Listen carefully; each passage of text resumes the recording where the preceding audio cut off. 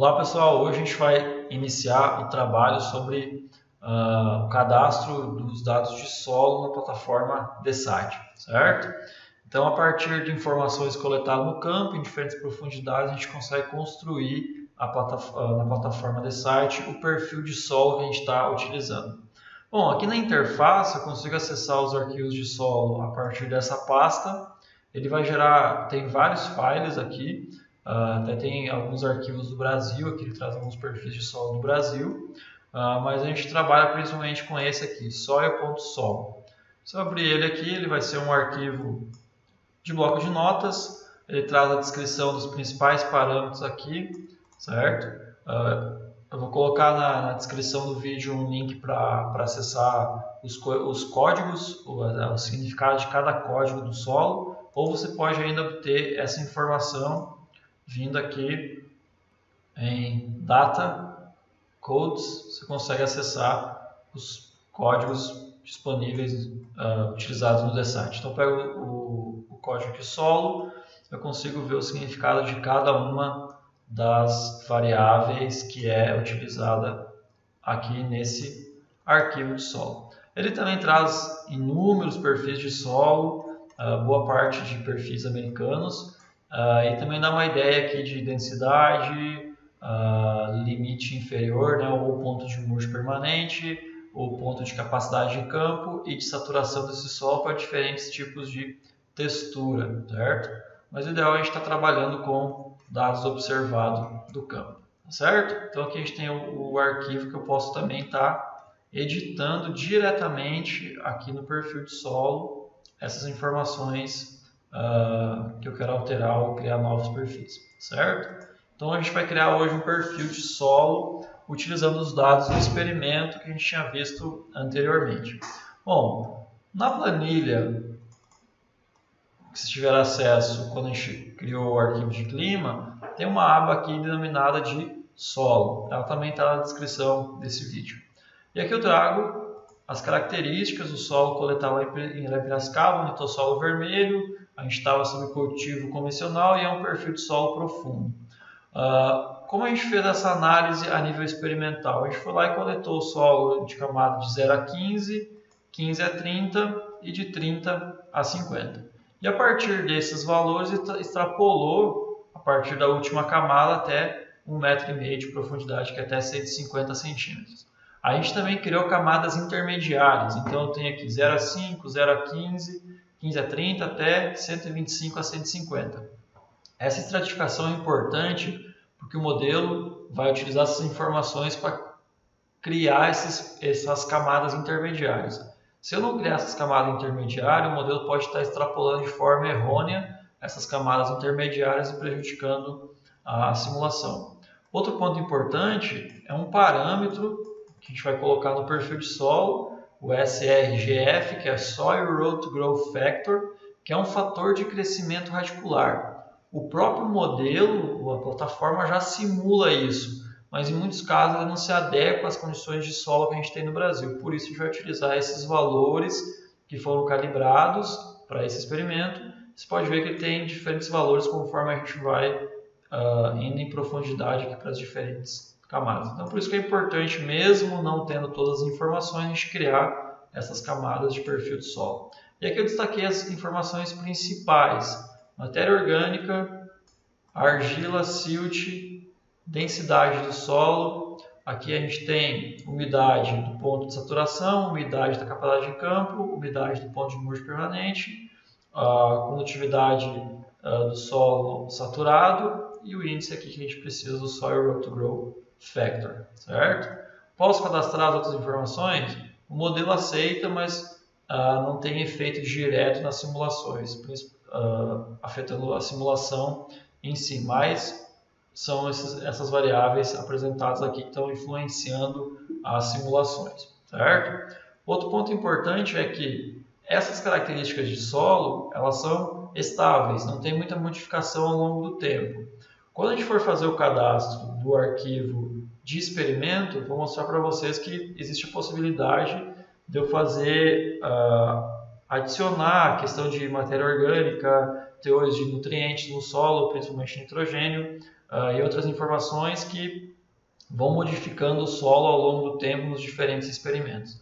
Então aqui nesse arquivo de solo são condições uh, estáveis, então focando principalmente aqui na disponibilidade hídrica para esse solo, certo?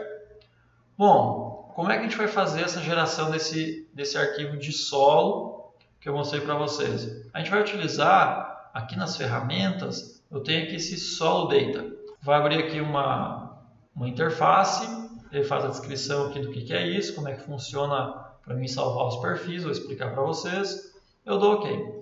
Aqui ele tem duas informações. Eu tenho file, que é esse arquivo principal aqui, soil.sol, e também tem aqui o profile, que é o perfil do solo que está lá dentro desse soil. Se eu vim aqui, descer aqui um pouquinho, eu tenho aqui, isso aqui é o meu profile, perfil de solo que eu vou criar, certo?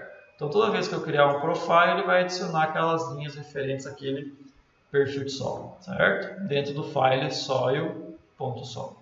Bom, eu venho aqui, crio uh, clico em Profile, crio, vai abrir essa nova aba e ela é bem intuitiva. Então eu coloco aqui o, o país, aqui Brasil, vou colocar Piracicaba, vou colocar aqui S de Exal, que é onde a gente fez o experimento, a latitude de Piracicaba menos 22, a gente tem a longitude menos 47.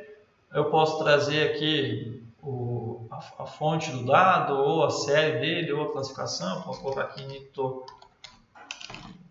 solo vermelho, certo? Algumas informações eu não preciso preencher. Aqui eu trago a, a cor, porque ele vai definir o albedo através da cor desse solo. Posso colocar aqui vermelho. A drenagem, ele pode colocar com uma, uma drenagem boa, a inclinação é uma área bem plana, uh, potencial de runoff, escorrimento superficial. Então eu posso colocar aqui baixo e aqui tem esse fator de fertilidade. Nesse caso é para solos pobres em que eu não tenho uma, uma boa fertilidade, eu posso estar penalizando o crescimento da planta em função desse fator aqui. Então a gente mantém ele em 1 e aperto Next. Aqui ele vai criar essa, essa planilha.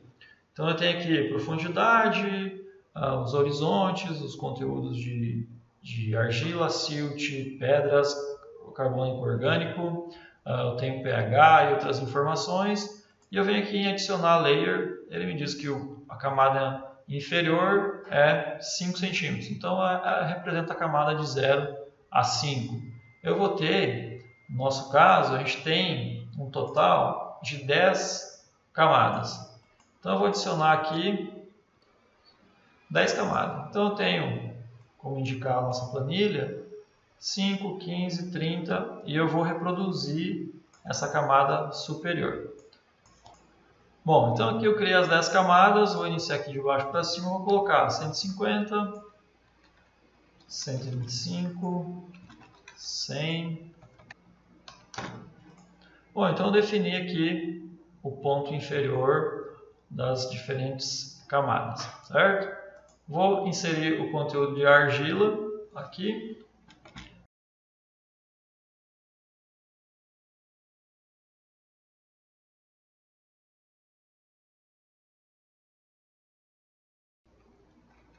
Conteúdo de pedra eu posso manter em menos 49 de, de cascalho. Ah, aqui o conteúdo de, de carbono orgânico, faço adição do car, carbono orgânico, lembrando de converter matéria orgânica para carbono orgânico.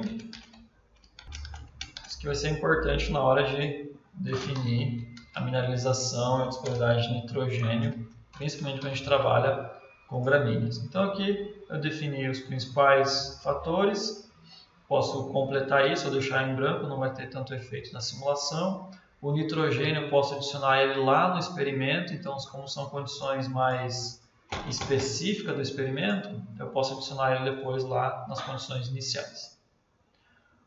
Bom, aqui eu tenho, ele já definiu a, a runoff curve number, que vai definir a questão de runoff, o albedo desse solo e a taxa de drenagem, e trouxe aqui o percentual de argila e silt que eu cadastrei.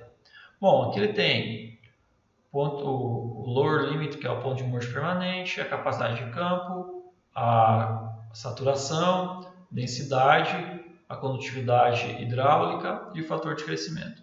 Se eu apertar aqui em calcular missing values, ele vai preencher automaticamente esses valores. O que ele está fazendo? A partir da textura, ele está buscando no banco de dados funções de transferência para calcular esses valores. Qual é a recomendação? Como as, as funções de transferência não são validadas para solo brasileiros, o ideal não é fazer esse cálculo automático, mas sim utilizar funções de transferência brasileira ou valores medidos e inserir eles aqui nessas informações, para cada uma dessas variáveis aqui, certo? Então agora eu vou preencher aqui, com base na nossa planilha, cada uma dessas variáveis que a gente está tá precisando.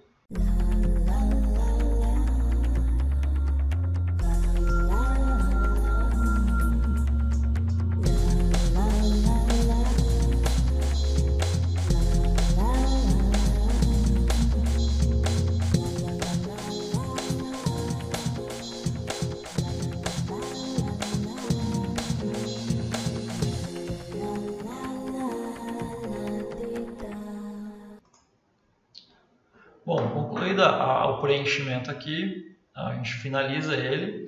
Uh, importante lembrar que a unidade deve ser observada. Uh, no caso, a saturação tem aqui centímetros por hora, na nossa planilha está milímetros por minuto, para fazer essa conversão. E aqui os fatores, o fator de, de crescimento de raiz que a gente definiu conforme está apresentado no trabalho ou na planilha que a gente está utilizando. O que, que significa esse fator de crescimento radicular?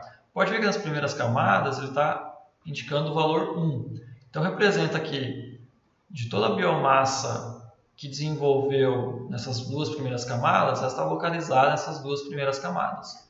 No momento que a raiz começa a crescer pela partição de biomassa, quando ela alcançar essa camada aqui de 15 a 30 centímetros, essa camada aqui vai ter 42% de biomassa que a camada 1 e 2 tem. Quando ela chegar nessa camada 40, dado o crescimento em profundidade de maior biomassa, essa camada vai receber 34% do que essas duas camadas estão recebendo de raiz. E assim por diante, até chegar lá em um metro e meio, que apenas 4% da biomassa que tem na primeira camada está chegando aqui nessa camada. Bom, completado o preenchimento aqui, eu venho aqui no, no perfil, vou salvar ele, ele vai pedir um nome, vou colocar aqui são uh, a sigla mais oito caracteres, do OK,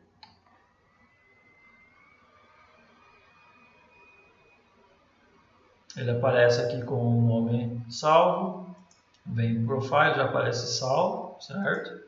Eu venho aqui em File, salvo o meu profile dentro do file e ele fica salvo aqui.